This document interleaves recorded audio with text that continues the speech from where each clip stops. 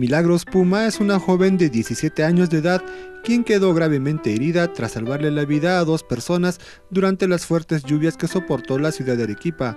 A pesar de su corta edad, Milagros no dudó en arriesgar su propia vida para evitar que el aluvión cobre más víctimas. En instantes que ayudaba a otras personas, un pesado poste le cayó encima dejándola gravemente herida.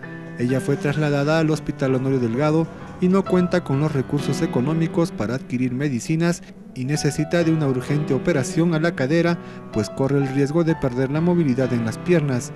Milagro se recupera de una intervención a la cabeza, pues presentaba un grave hematoma. Con urgencia, sí, mayormente lo que quiero, es apoyo, dinero para juntar, porque de un momento al otro me van a decir ya la operación.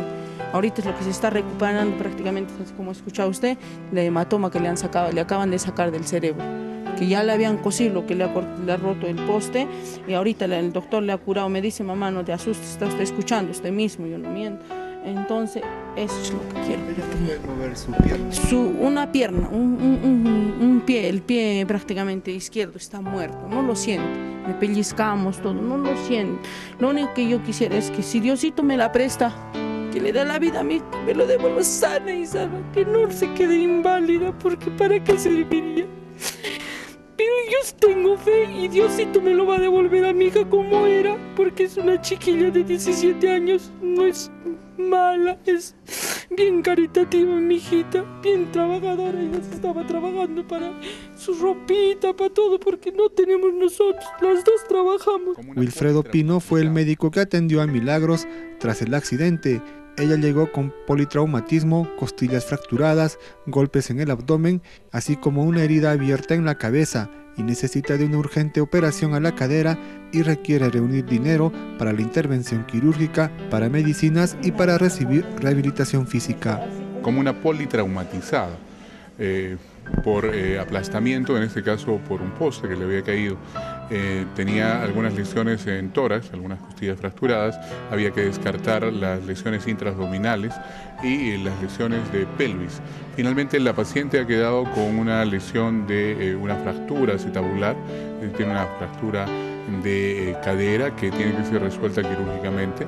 También tiene un hematoma en la parte del retroperitoneo, significa no donde están los órganos del, abdomen, sino en la parte, digamos, posterior, donde se acumula sangre, por eso es que la paciente vino con una marcada anemia que eh, ya ha sido solucionada con transfusiones de sangre.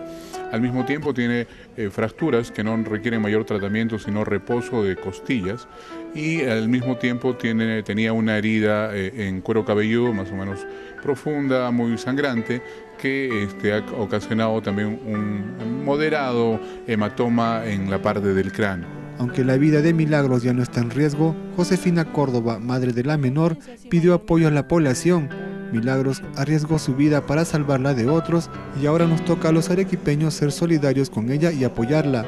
Milagros está internada en la sala de cirugía mujeres en el cuarto piso del Hospital Honorio Delgado mamacita, ya, ya, con todo, lágrimas de corazón, como cualquier vecino, estamos hoy por ti, mañana por mí, a cualquiera nos puede suceder. Yo necesito de la población, porque para la recuperación va a necesitar, cuando lo saque de acá, tengo que comprarle su camita, tengo su colchón para que esté bien.